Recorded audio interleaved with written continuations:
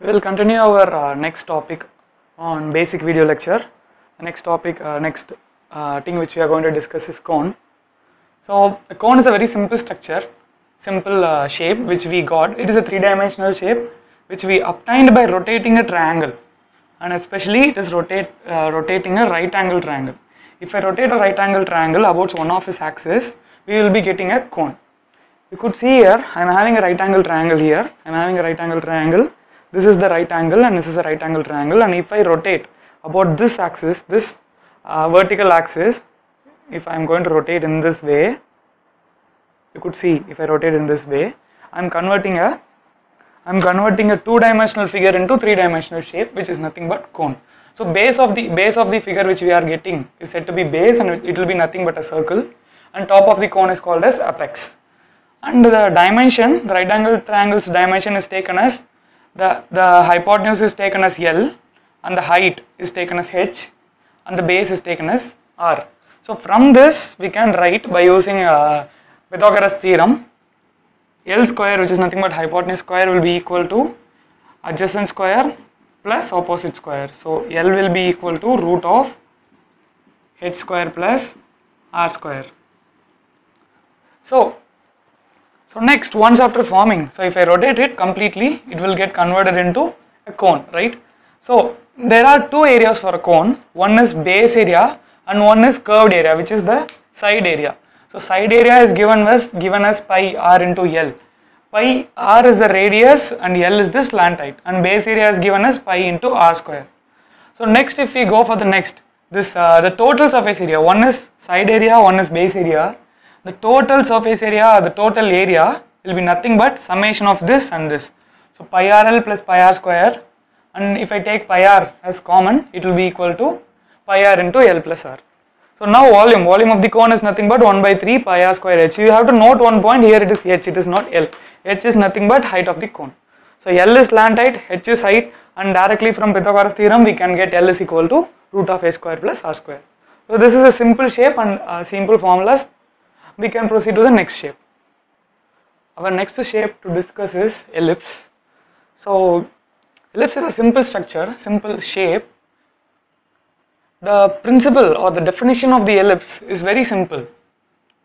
It is a curve which is similar to uh, similar to that of circle, but with a change, it has two points. One is the both the points are called as focus. Combinedly, it is called as foci. Such that these two points are fixed. Such that whatever point I take on the curve, here I taken a point P.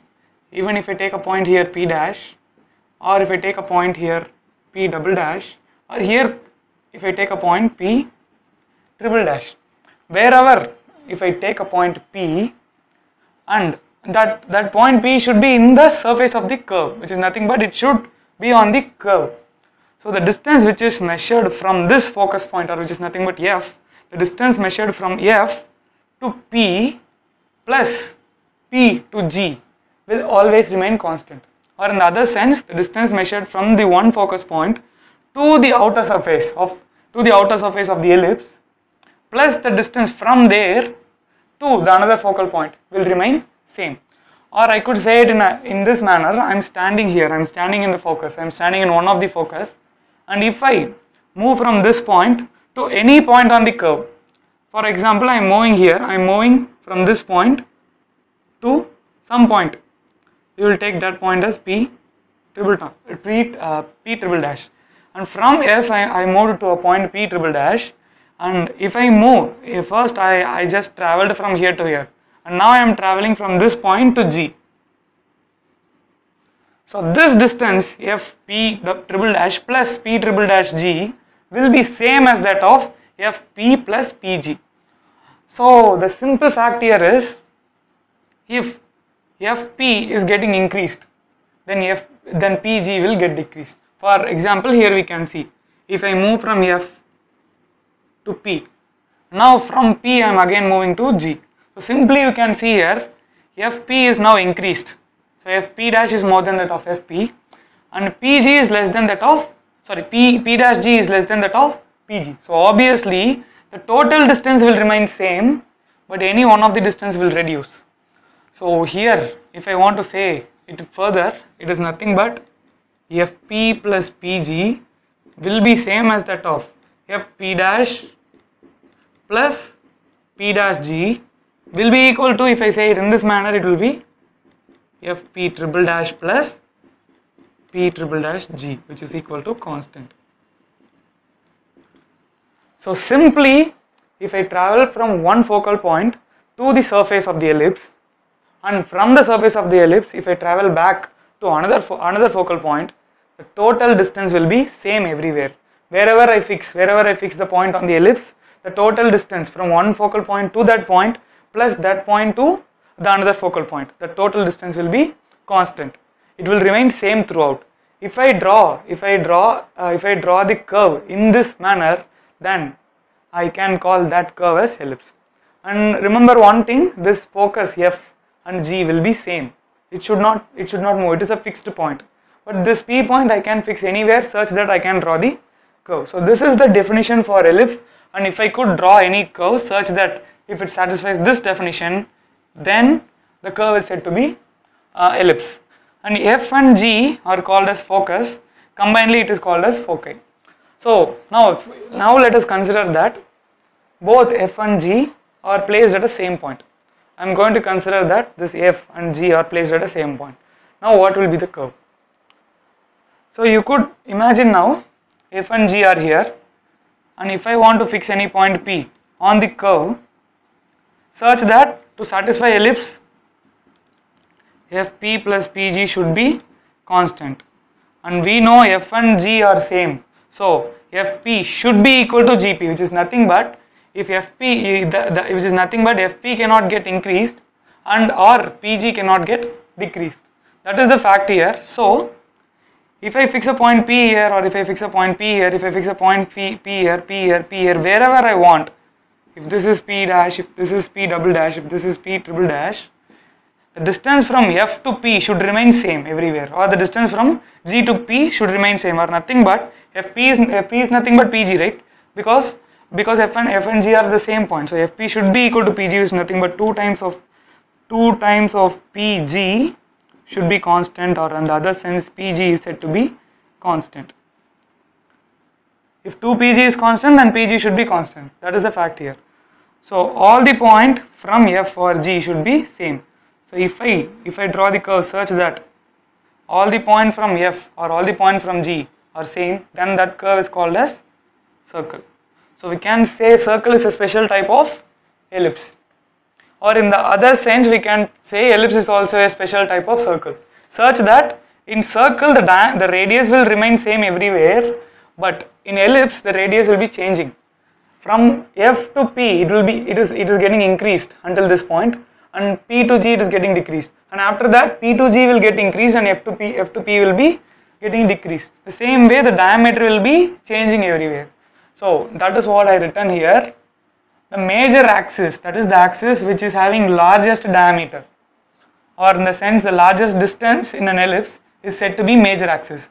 From A to B this complete distance is called as major axis and the distance C to D which is smaller shortest diameter is said to be minor axis. So this the the exactly exactly these ellipse will be symmetric about major axis and minor axis. In other sense this is minor axis. The distance from minor axis to one end will be same as that of distance from this point to other end. So that is what OA will be equal to OB which is nothing but semi major axis which will be equal to half of the major axis. So in the same way this point this uh, minor axis this ellipse is also symmetric about minor axis. So distance OC will be equal to OD which is nothing but semi minor axis. So now come now come for the geometry calculation. So if I take semi-major axis as A and semi-minor axis as, as B and I plotted the ellipse in x and y axis, x axis as semi-major axis and, and minor axis, sorry x axis as minor, major axis and y axis as minor axis. And, and if I take A to be semi-major axis and B to be uh, semi-minor axis distance, then area is given by pi into A into B, pi A into B. So we could we could easily say if A and B are same, it means it's nothing but a circle, right? If A is equal to B, that is, it is having a constant radius, or other sense, it is having a constant diameter. If A and B are same, then let us take AB equal to R, then we can directly get area as pi into A is R, B is R, so pi into R square, which is nothing but, which is nothing but a circle. Huh. Now come for perimeter. Perimeter it is not easy to determine for ellipse. It is also an approximation, so I given here approximation sign. The perimeter is not exactly equal to 2 pi root of a square plus a square plus b square by 2. It is approximately equal to 2 pi into root of a square plus b square by 2. Right. So now come for this is the equation of ellipse x square plus a square plus y square by y square plus b square equal to 1. So here I take an a square, uh, I an x square by a square because x axis is taken as major axis and y axis is taken as minor axis. So x square by semi major axis square, y square by semi semi minor axis square which will be equal to 1. So this is about this is all about ellipse. We will proceed to the next shape. Our next curve is parabola. So parabola is also a simple type of curve. The definition of parabola is there will be a fixed point. fixed point is called as focus and there should be a fixed line and that fixed line is called as directrix. The definition is such that if I choose any point in the curve, if I choose any point in the curve, the distance from this point, that is the distance from foci to the point which I choose, that distance which is nothing but is total distance. If I take this to be A, this distance should be same as that of distance which is measured from this point to directrix and this line should be perpendicular to directrix. Which is nothing but this should be A and this should also be A. So here in my diagram it is not exactly A. These two are not exactly equal to A. That is uh, by seeing it it is not exactly equal to A but the distance from focus to the point P, the point P should be in the curve and the distance from P to the directrix should be same. So for instance if I take if I take a distance from P dash, uh, if I draw a line from P dash to directrix which is perpendicular to the directrix and if I draw a line from F to P dash if I draw a line from F to P dash then this distance from F to P dash should be same as that of this distance from this point to this point. Let us take to be O dash. That is which is nothing but FP should be equal to PO and FP dash should be equal to PO dash. It is not necessary that I should choose only these two points. I can choose point wherever I want. If I choose a point here and if I if I represent it as Q, if I choose a point here and if I represent it as a Q, then then the distance from the focus to the point Q should be same as that of distance from this point to this point. That is, these total distance should be same as that of this distance. If suppose that is the case, then the curve which we drawn is said to be parabola. It's a very simple curve. It's very simple definition also. The distance from directrix to the point should be same as that of distance from the point to the focus. That's it. And uh, the fixed point is said to be focus and the fixed straight line is directrix, right? So now we come for uh, uh, our basic definitions, like basic things which you need to know about parabola. First one is it is the axis of symmetry. The axis of if it is an axis of symmetry, obviously the curve above should be same as that of curve below. So this this is the symmetric axis, and directrix is placed at a at a distance of a from y-axis or nothing but from the tip, which is said to be vertex. The tip of parabola is said to be vertex, and from the vertex, the directrix is placed at distance of a and we already know that f, f is the focus which is placed, placed at some distance and that distance should be also equal to a. So simply if I construct a, the, the distance from vertex to focus should be a and the, and the distance, distance from vertex to directrix should also be a. So then only our condition will be satisfied right. For example if I take a point, if I take a point at vertex itself, if I take a point, if I take a point P at vertex itself then only the distance from F to P will be equal to distance from P to directrix. So it is necessary that directrix should be placed at a distance of A and the same distance focus should be placed from the vertex. So and this is a parabola, an equation of this type of parabola where where the parabola is placed right side of x-axis is y square equal to 4 into a into x. It is in the positive side of x-axis, so plus 4 into ax. If suppose the parabola is placed in the negative side, which is nothing but here, which I shown here, the parabola is in negative side, then the equation will be y square equal to minus 4ax. So there will be a negative sign. And this point a focus here will be minus a comma 0 because the focus is placed in x-axis and y. So y should be 0 and it is a negative side, so minus a. And here there is a here there is a parabola which is placed in the positive side of y-axis and obviously the x square should be equal to 4ay and the focus point is placed on y-axis so the focus will be 0 comma a right? And here and here the parabola is placed below. So x square equal to minus 4ax because of we are placing it in the negative side of y-axis. Negative side of y-axis so minus 4ay here negative side of x-axis so minus 4ax here positive side of y-axis so plus 4ay here positive side of x-axis so plus 4ax we place the parabola in the positive side of x. Here we place the parabola in the negative side of x here I place the parabola in the top side which is nothing but positive side of y. And here I place the parabola in the bottom side which is nothing but negative side of y. So it is a simple concept of parabola but there is one interesting fact or interesting uh, interesting thing to be noted in parabola. So let us discuss about that. It's a very simple thing but it's a very interesting thing regarding parabola. If suppose if suppose I am constructing a reflector you might have seen in the or you might have studied about reflector in your basic physics. Just just consider there is a reflector which will reflect which will reflect a rays. Okay. So if I construct a reflector such that the shape of the reflector is parabola. Okay. I am considering a reflector. Such that the shape shape of the reflector is if this is reflector and if I construct it such that. The shape is parabolic. Right the shape of the reflector is parabolic. And let us take this is to be my focus point. This is to be my focus point. And if I pass a ray here if I pass a I am applying some light rays. Okay. If I pass any ray here obviously we know that reflector's job is to reflect the ray right? If it is a parabolic shape see what is going to happen.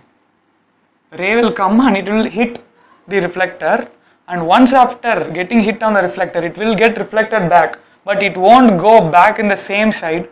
The reflection will be like this. That is it will directed towards the focus. Same way see here. Here there is another ray and it is coming and hitting the parabola. And from once after getting reflected the ray will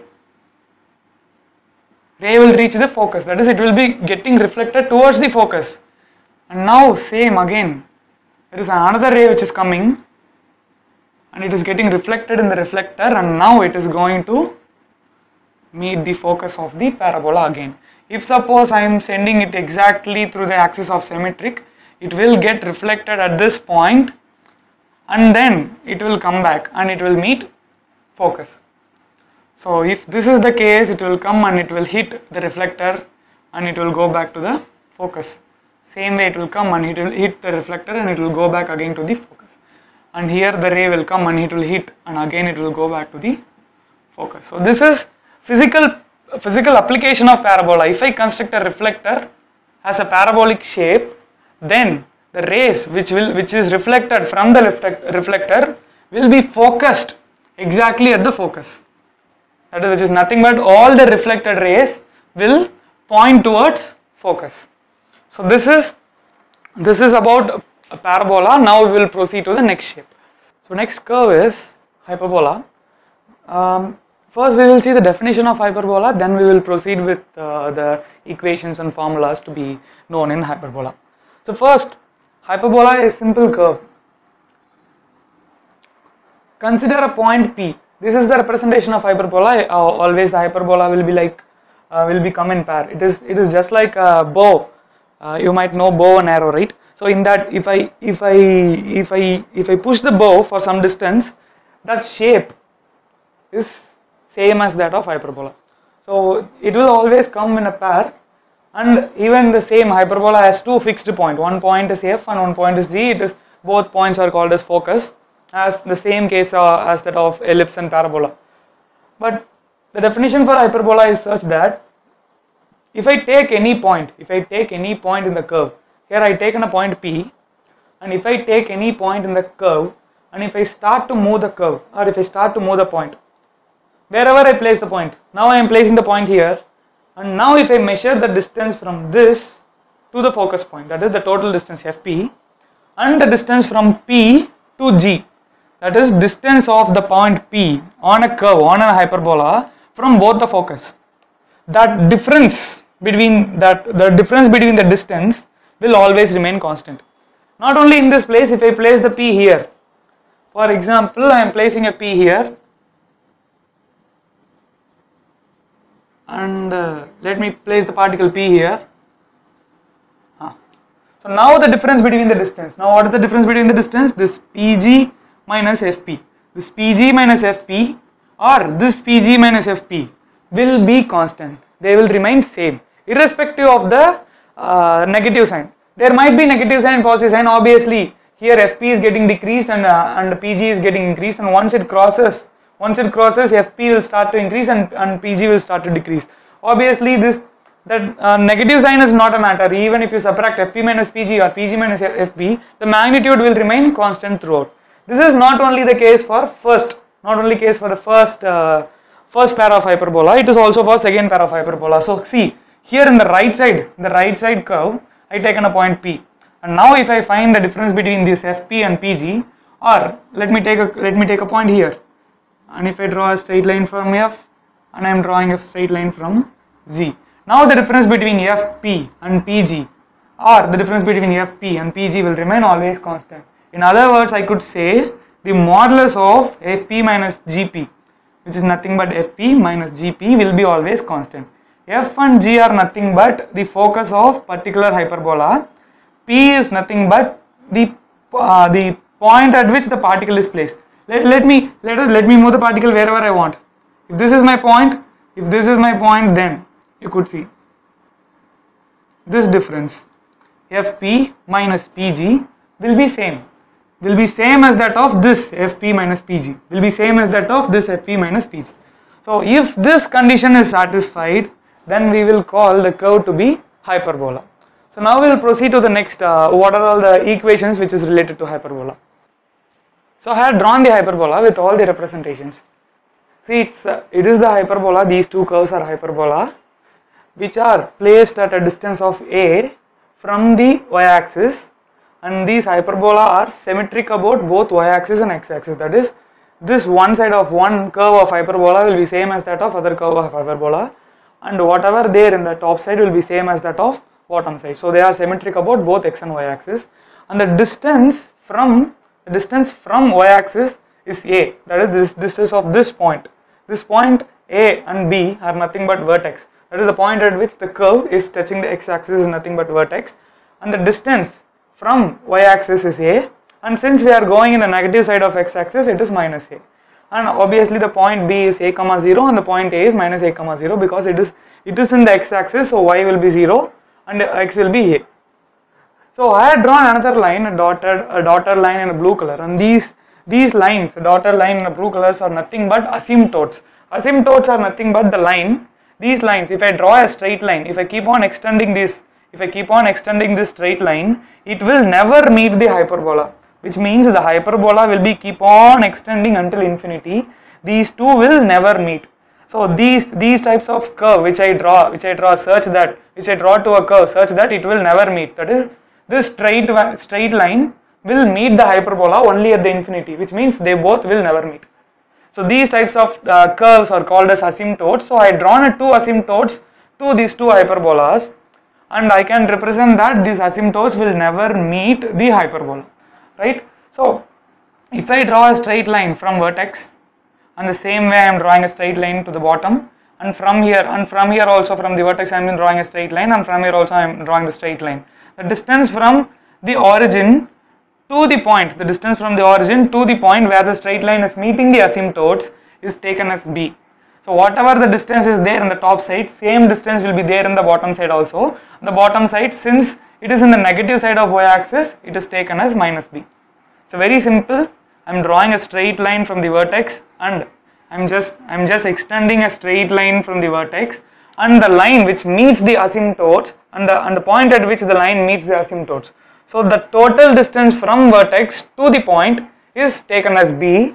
So whatever the distance which present in the top sides, same distance should be present in the bottom side also because these curves are symmetric about x-axis too. So this is b, so this is minus b, this is a, this is minus a. So this is the representation of hyperbola, the complete hyperbola and obviously we know that f and g are nothing but focus, a and b are nothing but vertex and a is nothing but minus a comma 0 because it is placed at the negative side of x-axis and b is nothing but a comma 0 because it is placed at the positive side of x-axis. So now come for the equation of hyperbola, it is a simple equation x square by a square minus y square by b square equal to 1.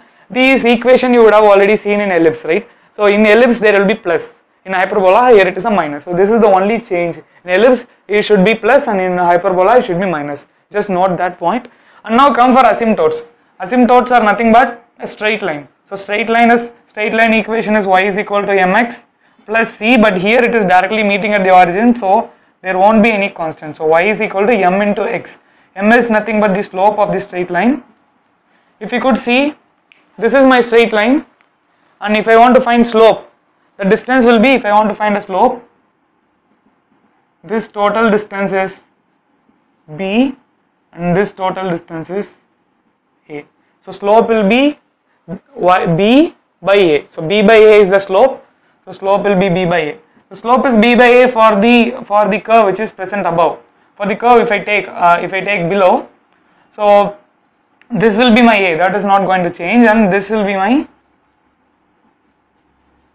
this will be minus b which is negative. So here it will be minus b by a. So two slopes, one is b by a, one is minus b by a. So y is equal to b by a, y is equal to minus b by a. Regarding slopes, we will, we will have a separate video on complete concepts of slopes. So presently to explain this, I am giving you the slopes in a in a very in a very small manner. When we are when we are uploading a separate video for slope, in that in that time I will explain the slope completely. So here the slope is very simple, nothing but the distance at y-axis by distance in x-axis. So slope is dy by dx. So here it is b, b by a is m. So y is equal to m into x, m is b by a for one case and for this curve m is minus b by a. Right? It is it is increasing slope and it is decreasing slope, whatever it is. So one is b by a, one is minus b by a, right? So different types of slope we will be discussing in a separate video. We have another type of hyperbola.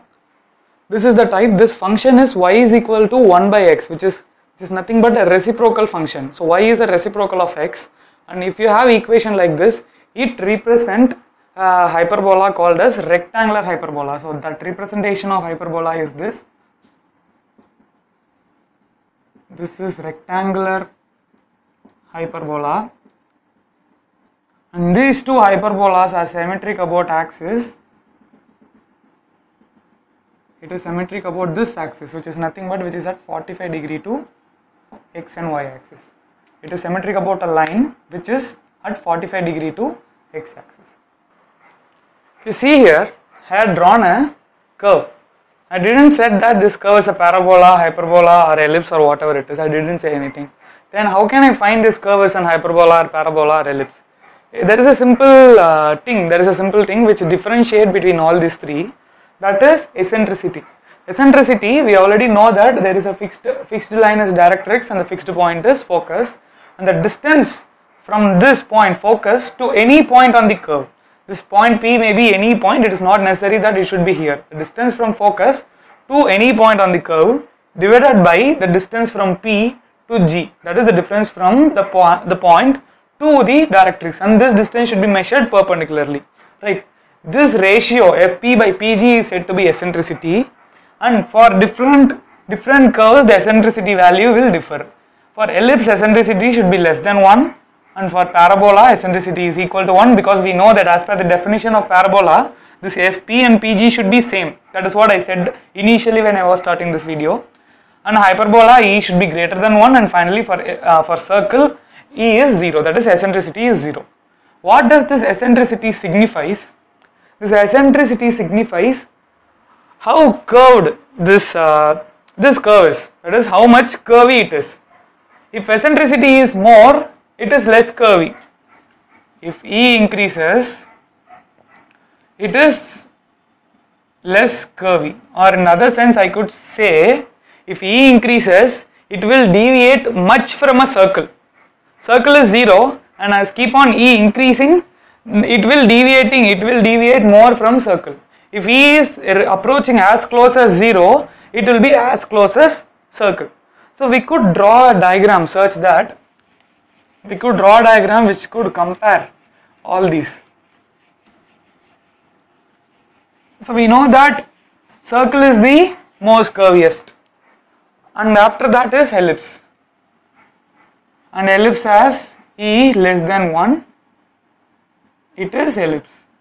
So after ellipse we know that it's going to be parabola because for parabola E is equal to 1 right and once after parabola it's going to be hyperbola.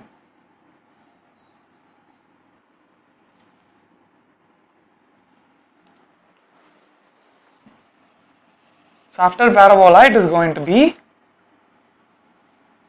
hyperbola where E is greater than 1 and it is hyperbola. If the curve keep on, if the curve is, if the, if you could see from hyperbola to ellipse, the curve is keep on, uh, uh, the, the curves are keep on getting more curvier. Ellipse it become more curvier and once it reaches circle it will be completely curved. But as it keeps on moving this side as E value keep on increasing and finally if E reaches infinity, the curve will become a straight line that is the curve will be a vertical line. So this this is the representation of eccentricity what eccentricity physically means. Eccentricity is nothing but ratio of distance uh, from focus to the point divided by the distance between the point and the directrix. That is the mathematically eccentricity is but eccentricity means how curvy if eccentricity is more, it is less curvy and if eccentricity is less, it is more curvy. So when I was starting the video, I, I started with a cone. But uh, you might have a confusion why I am starting the video with a cone because um, cone is something which is completely deviates from all these curves, right? Hyperbola, parabola, ellipse. These are completely different and cones are completely different. And why I, I started the video with a cone? There is a specific reason for that. You can see you can see the picture then you will identify the reason. So in this picture you can see there is a cone and I made a section different section of a cone. If I made a section which is parallel to the base then we are getting a circle. First one which is represented in the purple is a circle where I made a so I made a uh, so I just cutted the cone parallel to the base and if suppose if I make if I incline the if I incline the section somewhat more, we are getting ellipse. And now if I incline it furthermore, I am getting parabola. And if it is furthermore more steeper, if it is more vertical, then I am getting an hyperbola. So this is the relationship between a cone and all the other sections. So the circle, ellipse, parabola and hyperbola are nothing but sections which are cut from the cones. So hence these all curves are also called as conic sections. So conic sections. So it is a very simple relation. So that is the reason why I started this video with a cone and after that I proceeded to different shapes. So just cut the cone in a different different angle. If we cut it in a different different angle, we will get a different different shapes, different different curves. This video has been made because it was a, it was a request from one of our subscriber so what I was supposed to do is I am just asking asking whomsoever who are watching this video they can post their comment here. And uh, if you want more more such types of videos what what what else you need? What else you need in basic mathematics or whatever topic you need to discuss you can post you can post your comment here and uh, whichever possible we, we will start we will start to we will start to do the video as soon as possible. So so that's all about this video we will see in the next video. Thank you.